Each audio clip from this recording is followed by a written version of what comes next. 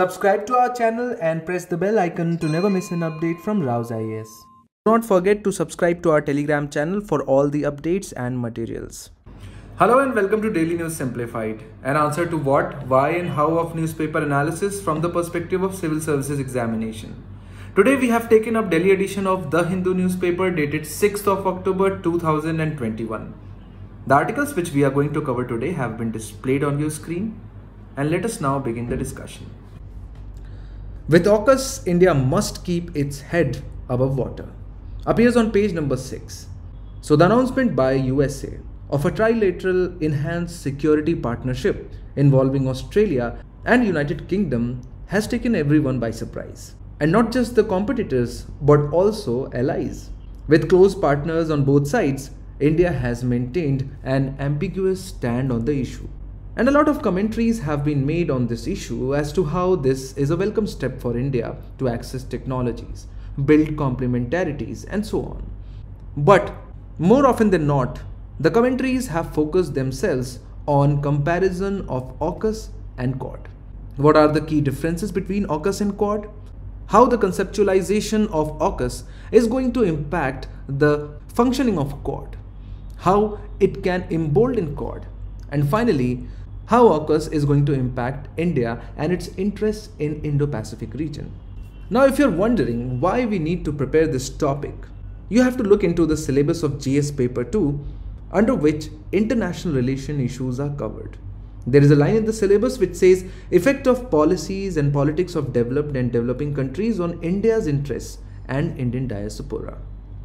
So you can clearly understand because of a decision taken by United States forming an association with Australia and UK. Effect of policies and politics of developed and developing countries is directly linked with this topic. And so what we are going to do is that we are going to focus our discussion on the topics which I have already highlighted. The key differences between AUKUS and Quad, how AUKUS seems to be benefiting Quad, and what is going to be an overall benefit for India if the stated goal of AUKUS turns into reality. Let us now begin the discussion.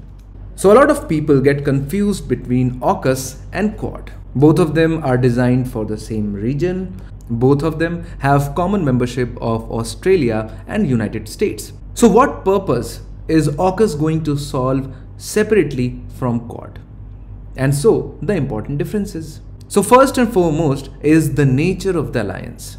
AUKUS is a military alliance. It does not have any other purpose it's openly and straightforwardly a military alliance, whereas Quad is more of a diplomatic alliance and not a military alliance. Since AUKUS is a military alliance, it has been specifically conceptualized to deal with security and military situation in the Indo-Pacific region. Whereas Quad, on the other hand, focuses on the affairs of the whole world or the global affairs, of course, with focus on Indo-Pacific region.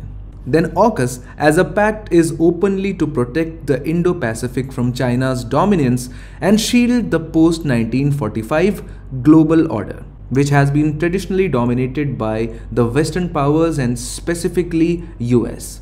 Whereas Quad has an agenda of its own that suits the shared interest of all the members of the Quad.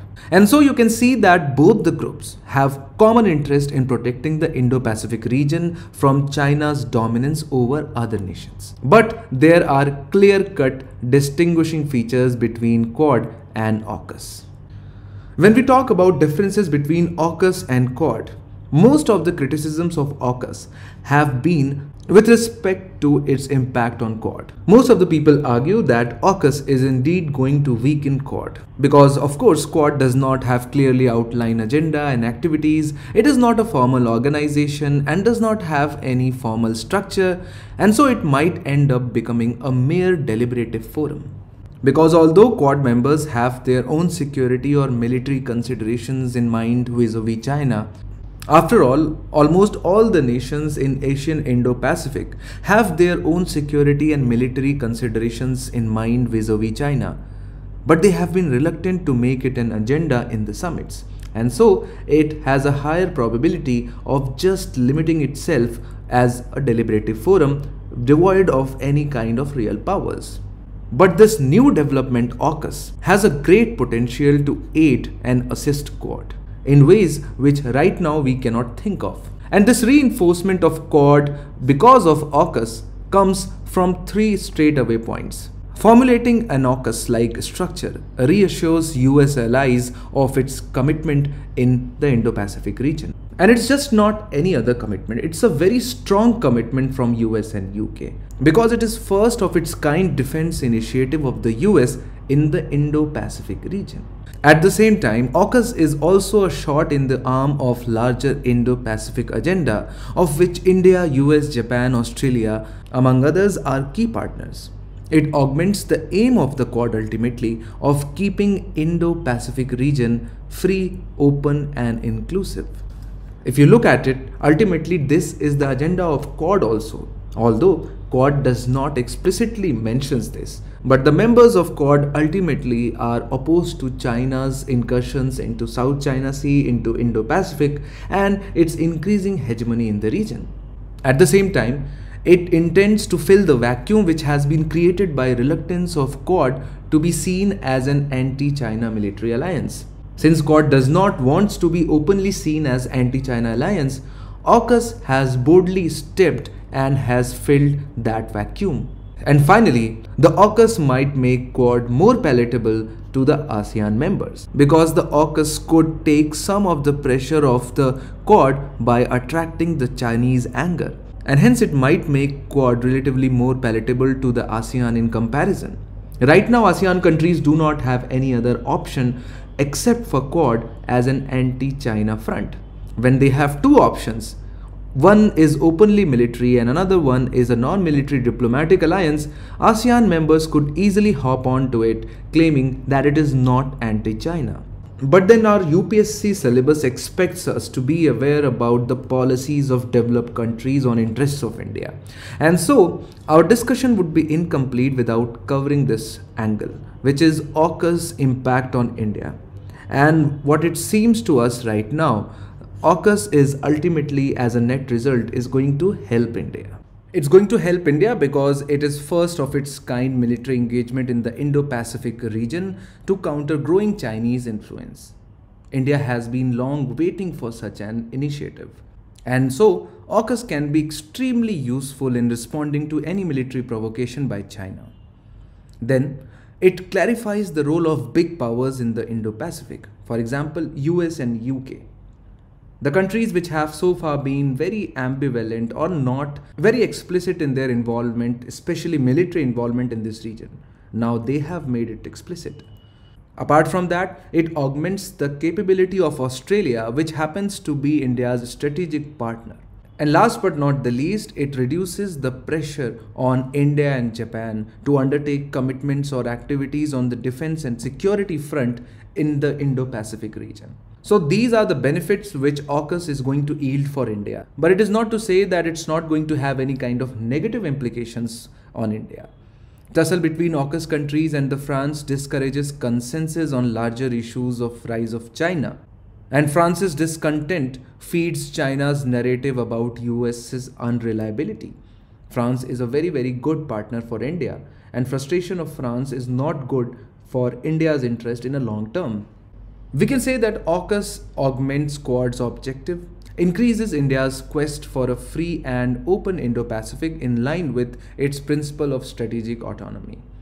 So in this discussion, we understood what AUKUS is and what Quad is, how they are different, how the development of AUKUS reinforces the idea of Quad, and how beneficial AUKUS is going to be for India.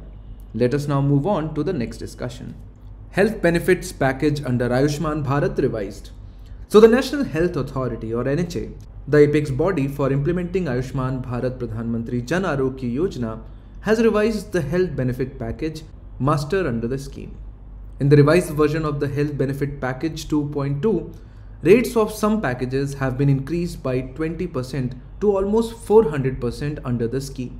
This would enable the impaneled hospitals to provide better services to the beneficiaries under the Ayushman Bharat scheme. So as all of us know that Ayushman Bharat Pradhan Mantri Jan Arogya Yojana is a national public health insurance fund of the government of India that aims to provide free access to health insurance coverage for low income earners in the country. Roughly, the bottom 50% of the country qualifies for this scheme. People using the program access their own primary care services either through a family doctor or through a private clinic. When anyone needs additional care, then the scheme provides free secondary health care for those needing specialist treatment and tertiary health care for those requiring hospitalization. The program is a part of Indian government's national health policy. It is a centrally sponsored scheme and is jointly funded by both union as well as states. Now, if you have to understand the importance of this topic from the perspective of GS paper 2, welfare schemes for vulnerable sections of the population by center and state and the performance of these schemes is a part of your syllabus. Issues relating to development and management of social sector and health is prominently written over there along with education. So you can understand that analysis of the scheme with respect to its significance, performance and concerns is actually a part of your syllabus. And just not that. UPSC has also in the main stage under GS paper 2 has asked a lot of questions with respect to schemes. For example, in 2013, the concept of midday meal scheme is almost a century old in India with early beginnings in Madras presidency in pre-independent India. The scheme has again been given impetus in most states in the last two decades. Critically examine its twin objectives, latest mandates and success. In 2017, UPSC asked to ensure effective implementation of the policies addressing water, sanitation and hygiene needs, the identification of beneficiary segments is to be synchronized with the anticipated outcomes. Examine the statement in the context of the WASH scheme. So we understand that flagship schemes like midday meal scheme Swachh Bharat are extremely important. And so in the forthcoming discussion, we are going to analyze the scheme starting with its highlighting features, its significance, its performance in past 2-3 years and what the concern what concerns have been raised in this time. Let us now begin the discussion. So what are the benefits under this scheme? First and foremost, government provides health cover of 5 lakh rupees per family. The families which are living below the poverty line across India. It holds children, especially the girl child, women and senior citizens in special regard as it prioritizes them. And unlike most private sector insurance scheme, it covers pre-existing diseases. This scheme covers the treatment for pre-existing diseases in all impaneled hospitals across the country. The scheme provides access to quality healthcare by paperless and cashless means. Every impaneled hospital has a dedicated Arogya Mitra to help patients throughout the process. A beneficiary can avail of the required treatment in any impaneled public or private hospital across India. And finally, all eligible families listed in the SECC database are covered. There is no cap on family size or age of the members. So after discussing the features, let us now move on to the significance of a scheme like Pradhan Mantri Jan Arogya Yojana. So a scheme like Pradhan Mantri Jan Arogya Yojana leads to the reduction and a massive reduction of out-of-pocket expenditure. For example, in 2018, Indians spent around 62.7% of their total health spendings as a out-of-pocket expenditure.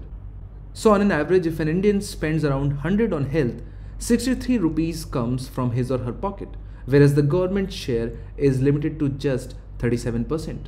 And this might not be a problem in case of a middle or upper middle class person, but this becomes a great problem when we are talking about below poverty line people.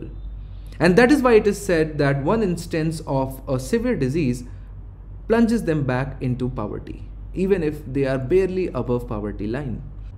Now, in case of hospitalization, the expenses up to 5 lakh is going to be borne by the government and that is going to be a big big relief on out of pocket expenses. And since the scheme has made the health treatment, the tertiary healthcare treatment affordable, it has increased the access to health care, especially for the poor people. At the same time, it has led to the strengthening of public health infrastructure through infusion of insurance revenues. Because earlier, the government hospital did not have any significant revenue stream. Then, the scheme has incentivized creation of new health infrastructure in rural, remote as well as in underserved areas because now the entrepreneurs and the doctors have incentives to open up healthcare facilities even in remote areas because there also the people are going to have the benefits of Jan Arogya Yojana and the government is going to cover their treatment as well. And so now you have an incentive for expansion of health infrastructure across the country. So how has been the performance of this particular scheme? And if we want to analyze the performance as to how it has changed the healthcare infrastructure or healthcare landscape across the country, 3 4 years is not significant enough time to judge its impact. But there are three areas where the impact is clearly visible. It has led to the consolidation of health insurance schemes, it has expanded beneficiary base, and it has introduced strong monitoring mechanism starting with the consolidation of health insurance schemes. With a significantly larger risk cover than what was offered as a part of earlier Rashtriya Swasthya Bima Yojana, a consolidation at level of health insurance schemes is already happening across Indian states. For example, Karnataka has merged seven existing health insurance schemes into one, while Kerala has combined three different healthcare schemes into one. So it has led to the consolidation of various schemes. Then as far as expansion of beneficiary base is concerned, we have significant data to show that 11 states and union territories have expanded the Pradhan Mantri Jan Arogya Yojana or its state level variant to the point of universal or almost universal coverage. Also, since its inception, the scheme has a very robust information technology infrastructure overseeing transactions and locating suspicious surges across the country. To give you an example, a lot of hospitals have been blacklisted in past 2 years.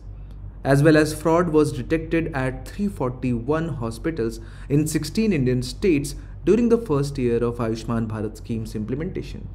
But having said all of this, does not mean that the scheme is devoid of any concerns or issues or challenges in its implementation. And the concerns regarding the scheme can be mainly divided into six causes starting with the widening inequity or the widening of inequality. Because the analysis of the available disaggregated data in the public domain indicates that barring a few states like Chhattisgarh in the case of Jan Arogya Yojana, most top performers are the richer states. And this is a big problem because if India has to perform well, all the states will have to perform well and not just the richer states.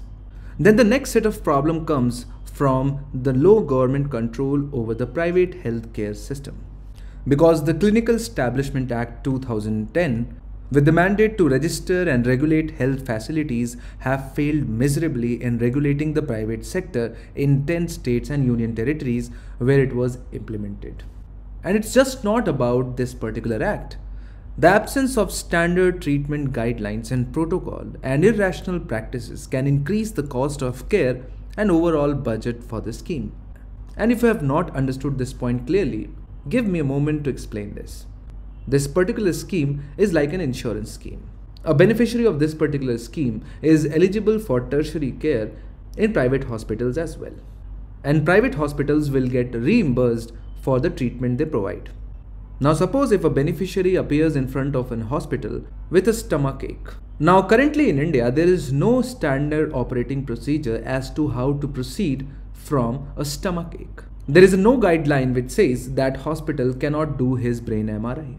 And since the payment is not coming from the patient, patient is least bothered about what charges has she been charged. And so the particular structure of this scheme gives a lot of incentive to hospitals to carry out a lot of tests, to carry out a lot of procedures for which they can bill the expenses, which will be then chargeable on Government of India.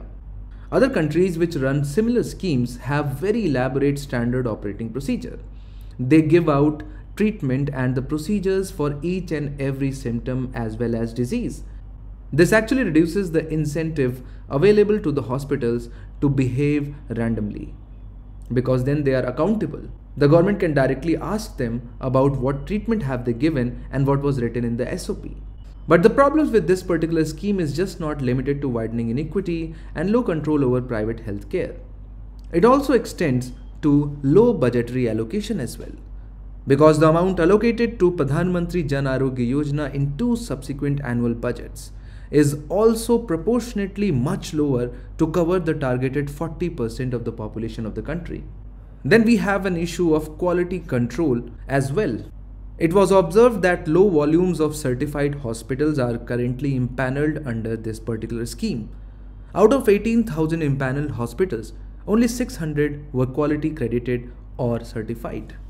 Then we have to understand that one of the important pillars or most important assumptions of this scheme is the existence of a very sound and robust private healthcare infrastructure. But it turns out that this particular pillar is absent or missing in our country. Registry of Hospitals in Network of Insurance or Rohini data suggests that only 3% of private hospitals are eligible for the Ayushman Bharat scheme. On an average, there are only 1.28 impaneled hospitals per 1 lakh population that can provide health care to patients under the scheme. Further, impaneled hospitals lack the infrastructure required to treat the patients. So these are the prominent challenges which can be put under separate headings. But there are other multiple or miscellaneous challenges as well. For example, the challenges which other schemes also face, and that is of ghost beneficiary. Then we have instances of large scale conversion of outpatient treatment to inpatient treatment. So OPD is a place in hospitals where doctor first interacts with the patient. If she feels the need, then that person or the patient is admitted in inpatient or ICU or general wards. Now, under the scheme, the benefits will be given only if the patient is hospitalized. And so, it gives a lot of incentive for hospitals to convert the OPD patients into IPD patients. And so, these are the challenges which this scheme is currently facing. And so, as a way forward, the government should come up with standard operating procedures the procedures which are going to elaborately define the treatment as well as the procedures to be followed in cases of all the commonly available diseases. Then we need to make our certification and accreditation process very, very robust. Robust to such an extent that only those hospitals which have the kind of facilities they claim and only those hospitals where the procedures are followed rigorously should be allowed to be impaneled under the scheme. The government should also increase the allocation under the scheme, especially under post-COVID scenario. So these are some of the way forward which you can write in your answer once asked about this particular scheme. With a bank appears on page number 6 as a column. The southwest monsoon has officially ended in India with around 87.4 cm of rainfall between June and September, or just 0.7% short of the historical average of 88 cm. In many ways, this was an exceptional year. By August 10th, India was staring at an all India monsoon rainfall deficit of around 9%. But since September rainfall, 35% more than the monthly normal, was so much that it completely closed the deficit and was well beyond the IMD's expectations. And so, an obvious question which is asked and the concern raised year on year about IMD is its failure to correctly predict monsoon among plethora of other failed predictions which the IMD does. It becomes very important from the perspective of GS1 under environment as well as geography. Now the failure of IMD to clearly predict the Indian monsoon is just not because of inefficiency of the IMD.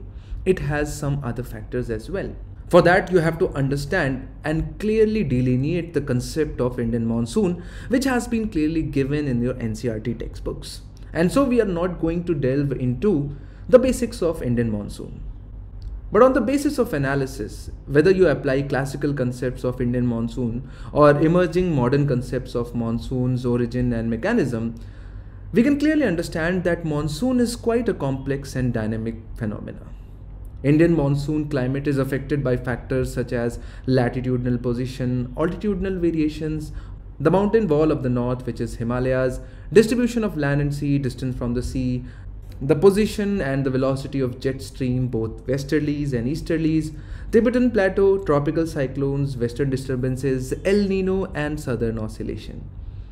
And so you can clearly understand that monsoon is very very complex interhemispherical and interoceanic phenomena which makes the predictions very difficult on top of that the topography of indian subcontinent comprising of loftiest of the mountains expansive deserts longest and deepest valleys surrounded by oceans from three sides makes the monsoon highly variable in not just the space but as well as in time.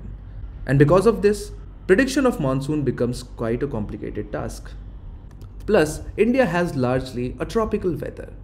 And in general, tropical weather are more complicated and more variable than the temperate weather and hence they are difficult to predict.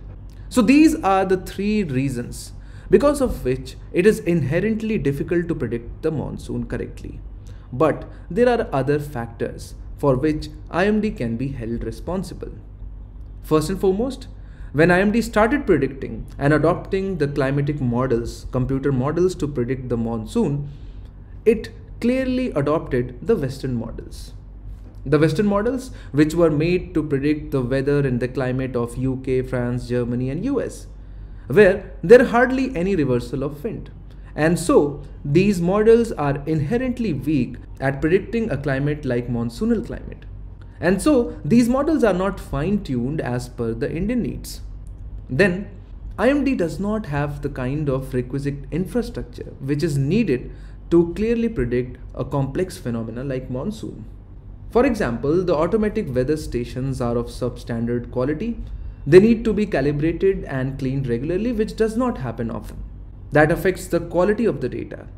After all, dynamical models require huge amount of computations for which supercomputers are required. And IMD recently acquired supercomputers before which they did not have the state-of-the-art facility to predict the monsoons. This lack of infrastructure leads to data insufficiency.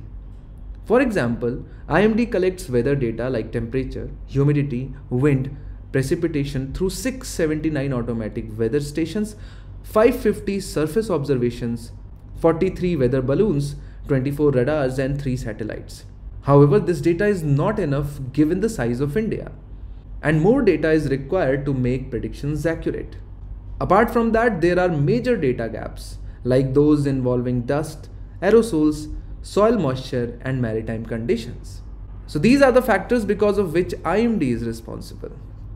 And then there are evolving conditions of pollution and climate change, which is making the overall weather and climatic modeling very, very difficult. For example, the increased concentration of aerosols in atmosphere tends to change the shape and characteristic of rain-bearing clouds, leading to extreme rainfall events but weakened monsoonal rainfall which then becomes difficult to predict. Similarly, climate change is not just directly impacting the monsoons, but it is impacting other factors which impact the monsoon, for example, El Nino Southern Oscillation or Indian Ocean Dipole. And so these changes in recent times are making the Indian monsoon increasingly complex to be predicted. So from the perspective of mains examination, an analysis about the failed predictions of IMD can be asked. And these are the factors because of which it is inherently difficult to predict monsoon. And on top of that, there are deficiencies of IMD because of which the predictions of IMD fail to match up to the reality by a big mark. Let us now move on to the next news. Services PMI flags first hiring since November. The services sector last month recorded the second fastest expansion since February 2020 accompanied by the first hiring in 10 months according to the IHS Markit survey based Purchasing Managers Index. And just like all other indices in economy, for example, consumer price index, wholesale price index, index of industrial production, this PMI is also very very important. As you can see on the screen, there have been a lot of questions dealing with indices. And it's only a matter of time when a question on PMI is asked. And so starting with who releases the PMI. And so PMI data is published by Japanese firm Nikkei but compiled and constructed by Markit Economics. And so this is a very crucial point. Generally, in all other indices, the agency which is responsible for compilation and construction is the same. But in this case, there are two different agencies, Nikkei and Markit Economics. And so what is the source of information or what are the sources of information on which PMI relies upon? And so PMI is calculated based on information received from companies on various factors that represent demand conditions. It is very different from IIP, which is indicative of actual production. The PMI takes in responses from a company on a monthly basis on whether there has been improvement, deterioration, or no change for a set of parameters relative to previous month. And so, what are the parameters which is used by PMI in calculation of the index? It is new orders, output or production, employment, suppliers delivery and stock of purchases. This questionnaire is administered to 500 private sector companies and the comprehensive score is arrived at. The PMI is constructed separately for manufacturing and services sector, but manufacturing sector holds more importance. And so what is a good PMI and what is a bad PMI? Or when does PMI indicates expansion and when does it indicates contraction? And so a figure of 50 is very very important because above 50 denotes expansion in business activity and anything below 50 denotes contraction. Higher the difference from this midpoint, greater is the expansion or contraction. The rate of expansion can be judged by comparing the PMI with that of previous month data. If the figure is higher than the previous months, then the economy is expanding at a faster rate. If it is lower than the previous month, then it is growing at a lower rate. And so, when you have to understand the importance of PMI, it is usually released at the start of the month, much before most of the official data on industrial output, manufacturing, GDP growth become available, and hence it is considered as a good leading indicator of economic activity. At the same time, a lot of people get confused between PMI and Index of Industrial Production or IIP. And so, it is important for us to cover the crucial differences between the two. First and foremost, PMI is released by a private agency Nikkei, whereas IIP all of us know is released by NSO. PMI does not tracks original or actual production, but IIP does tracks. PMI covers only 500 private sector companies, whereas IIP covers both private sector as well as PSUs. PMI covers both manufacturing and services, whereas IIP covers only manufacturing sector. And so PMI is obviously less comprehensive since it covers only private sector companies and obviously IIP is much more comprehensive.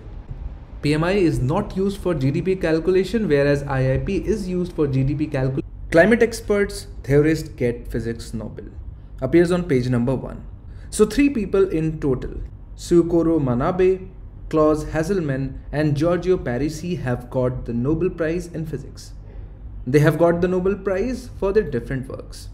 So basically, the work is shared between two people for doing one work and one person, Giorgio Parisi, doing the another work.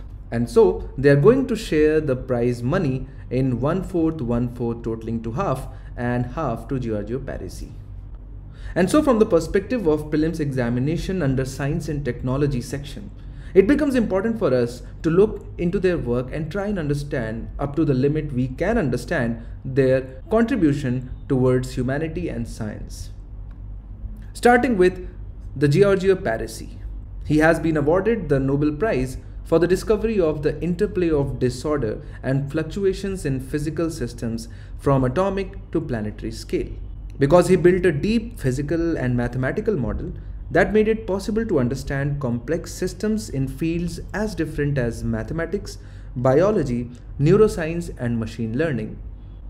So, if we have to understand his work in a very layman term, we will have to assume a box full of a lot of balls. And every time these balls are squeezed together, a new irregular pattern is formed despite them being squeezed in exactly the same way. So, what governs this squeezing? Dr. Giorgio Parisi has discovered a hidden structure in such a complex disorder systems, which these balls represent, and found a way of describing them mathematically.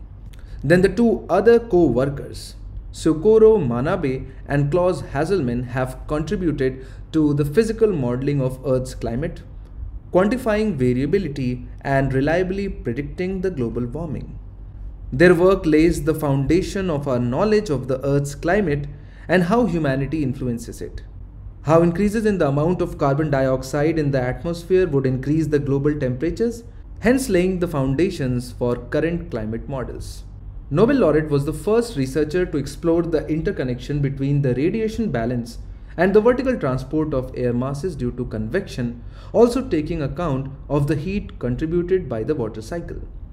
We know that infrared heat radiation from the ground is partially absorbed in the atmosphere, hence warming the air as well as the ground while some radiates back into the space. Hot air is lighter than the cold air, so it rises through convection. It also carries water vapor, which is a powerful greenhouse gas. The warmer the air, the higher the concentration of water vapor. Further up, where the atmosphere is colder, cloud drops form, releasing the latent heat stored in the water vapor. We know that increased level of carbon dioxide leads to higher temperatures in the lower atmosphere, while the upper atmosphere gets colder. The Nobel laureate Manabe has confirmed that the variation in temperature is due to increased level of carbon dioxide. Because if it was caused by increased solar radiation, the entire atmosphere should have warmed up.